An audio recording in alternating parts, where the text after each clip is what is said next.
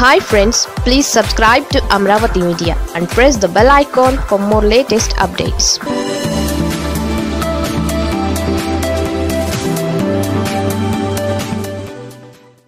ఆ నలుగురు మంత్రులకేనా?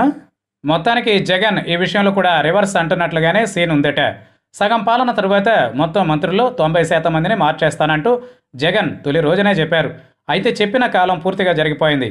ముందుకు సాగిపోతోంది కూడా. కానీ ఏపీలో మంత్రివర్గ విస్తరణ ఊసే లేకుండా పోయింది.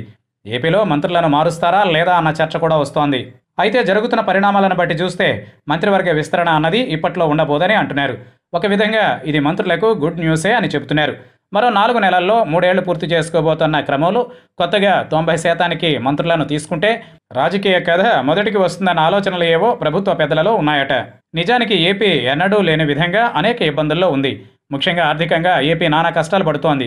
ఇక ప్రజా వ్యతిరేకత కూడా నెమ్మదిగా అలుముకుంటోంది. ఈ నేపథ్యంలో విపక్షాలు కూడా వచ్చిన అవకాశాన్ని వాడుకునేందుకు సిద్ధంగా ఉన్నాయి. దాంతో కొత్తగా మంత్రులను తీసుకుని వారితో కొత్తగా పాలన మొదలు పెడితే ఫ్రెష్నెస్ మాట పక్కన పెట్టి చాలా ఇబ్బందులు రాజకీయంగా వస్తాయని ఆలోచిస్తున్నారట. ఇక కొత్తవారు తమ శాఖల మీద పూర్తి పట్టు సాధించి రంగంలోకి దిగేసరికి పుణ్యకాలం కూడా గడిచిపోతుంది అన్న ఆలోచనలు ఉన్నాయని చెబుతున్నారు. ఇక అన్ని రకాల సమీకరణలు చూసుకునే మంత్రివర్గాన్ని నాడు ఏర్పాటు చేసినందువల్ల ఇప్పుడు విస్తరణ పేరిట ఏమైనా మార్పు చేర్పులు చేసినా దానివల్ల పార్టీలో అసంతృప్తి కూడా రేగుతుంది అన్న దురాలోచన కూడా ఉందని చెబుతున్నారు. దీంతో మంత్రివర్గ విస్తరణ యత్నాలు ఉండకపోవచ్చు అంటున్నారు.